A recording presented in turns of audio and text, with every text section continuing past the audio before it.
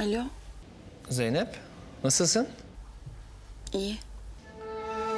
Bana bak, senin sesin yine kötü geliyor. İyisin değil mi? Bugün şirkete gelmiyorsun. Yok ben gelmeyeceğim şirkete. Bütün gün uyuyacağım. Ya eğer başarabilirsem. Ya hiçbir şey düşünmek istemiyorum ben artık. Tamam, anlıyorum da böyle eve kapanman, uyumaya çalışman falan iyi şeyler değil bunlar. Onur gerçekten yani. İstemiyorum, hiçbir şey yapmak istemiyorum. Halim yok. Anla sen de.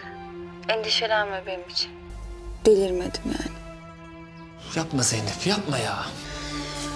Sonra konuşsak olur mu? Gerçekten hiç halim yok. Tamam Zeynep, sen nasıl istersen.